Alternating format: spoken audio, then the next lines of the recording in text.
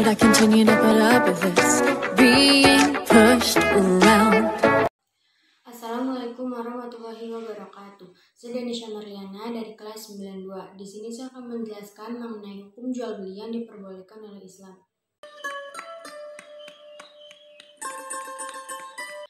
Hukum jual beli atau yang disebut dengan ba'i bersifat mubah karena jika dikerjakan atau ditinggalkan tidak mendapat dosa dan tidak mendapat pahala.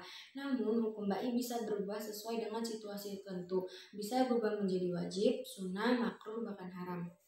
Dalam surat Al-Baqarah ayat 175 dijelaskan Bismillahirrahmanirrahim wa hal bai'a wa riba yang artinya Allah telah menghalalkan jual beli dan mengharamkan perbuatan riba.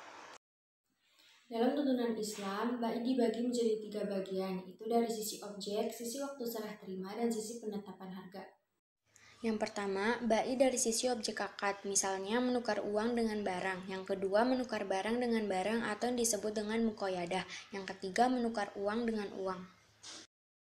Yang kedua, baik dari sisi waktu serah terima, misalnya serah terima barang dan uang dengan cara tunai. Yang kedua, serah terima barang atau uang dengan pembayaran tatap muka atau yang disebut dengan akad salam. Yang ketiga, serah terima barang atau uang secara tidak tunai atau jual beli hutang dengan hutang atau yang disebut dengan baidain bidain. Yang ketiga, baik dari sisi penetapan harga. Baik dari sisi penetapan harga ini dibagi menjadi dua, ada baik musawamah dan baik amanah. Baik musawamah yaitu jual beli dengan cara tawar-menawar. Biasanya transaksi ini terjadi pada pasar tradisional. Yang kedua, baik amanah yaitu jual beli dengan cara penjual menyebutkan baik harga pokok barang dan harga jual barang tersebut.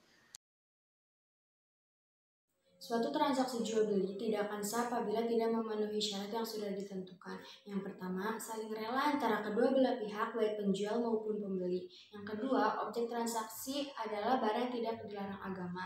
Yang ketiga, objek transaksi adalah barang yang dapat diserah terimakan. Dan yang terakhir, harga objek harus jelas saat transaksi terjadi. Sekian video dari saya, kurang lebihnya mohon maaf. Wassalamualaikum warahmatullahi wabarakatuh.